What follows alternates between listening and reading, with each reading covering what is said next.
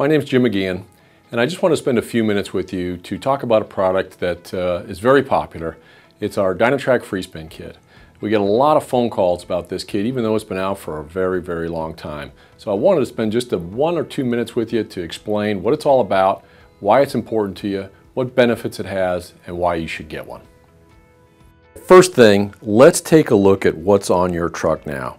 If you have a Ford three-quarter ton, Dodge three-quarter ton, or one-ton truck, this is the unit bearing or front wheel bearing assembly that is in your vehicle. This one is actually off of a Dodge. The Ford one is a little bit different in that it has a snout here and does accept a locking hub. The Dodge does not take a locking hub. So what happens here is this is the part that your wheel is bolted to and your brake rotor and it's constantly rotating with the front wheel. This is where the axle shaft engages to, so it's also turning all the time when your wheels are spinning down the highway. So that creates a lot of friction inside the axle. It also rotates the front drive shaft, creates some noise, vibration, and harshness, and it creates a lot of wear, costs you fuel economy, and so we wanted to eliminate that to give you a smoother, quieter ride, and also save you some diesel fuel. This uh, wheel bearing assembly as you can see on the back, we've taken this one apart. Normally these do not come apart. Uh, the way it goes together is this would be a race assembly. It's actually kind of considered the, the wheel hub, if you will. Uh, and then this is the bearing that would go in the back of this. This is normally all pressed together. It's peened over so you can't disassemble it. But what I wanted to point out here is two things. One, when the bearings are all pressed together, they're very close together. This one would come all the way down. So the tire has a lot of leverage on these two bearings that are so close together. The, if you have a big tire, it puts a lot of extra load on these two bearings. The other problem is that the seals are not replaceable or serviceable. So if any contamination gets inside, it generates a great deal of heat and the cages that keep the rollers in place are made out of plastic. The problem is that the plastic, once it gets hot enough, it melts and then all the rollers fall out of place and basically it, it immobilizes your vehicle on the side of the road. Now that we've seen what the factory wheel bearing assembly looks like, let's take a look at the Dynatrac free spin kit that solves some of the problems that we just mentioned. First of all, this is a completely different design. Uh, we have a fixed spindle that's bolted to the knuckle that does not rotate. This one rotates because it's just a display, but normally this does not rotate. The rotor and the wheel bolt to the wheel hub and that whole assembly rotates. What makes this different from the stock wheel bearing is that this has a manual locking hub that allows the wheel to turn freely but not turn the axle shaft. So you can see that uh, the axle shaft would normally be sitting still as we're going down the road and this piece would be rotating around.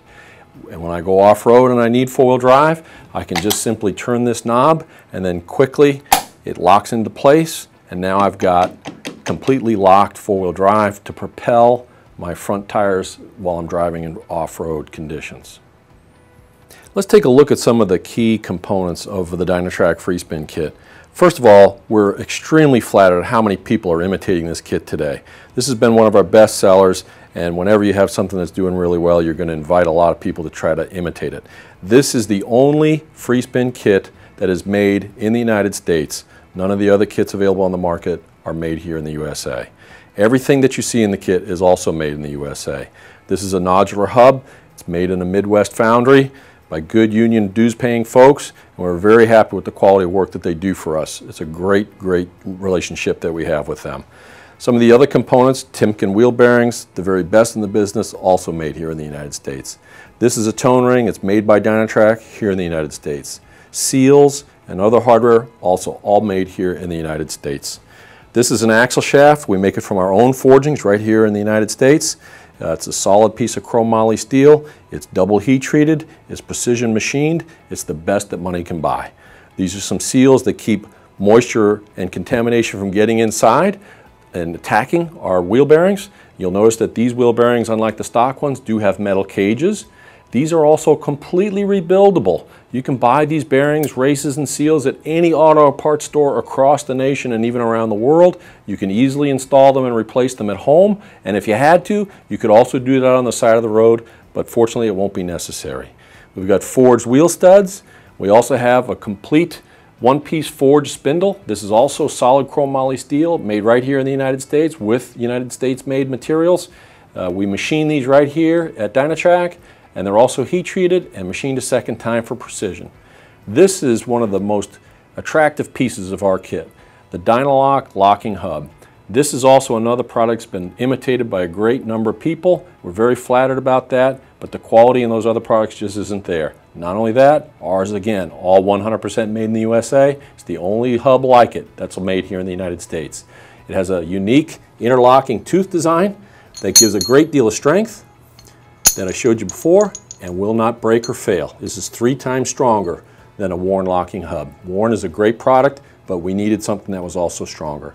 It Comes with all the miscellaneous hardware and components to make it work, and also a, a aluminum bezel, a, a aluminum knob, and a steel bezel uh, to give it strength and durability in case you scrape it against a rock.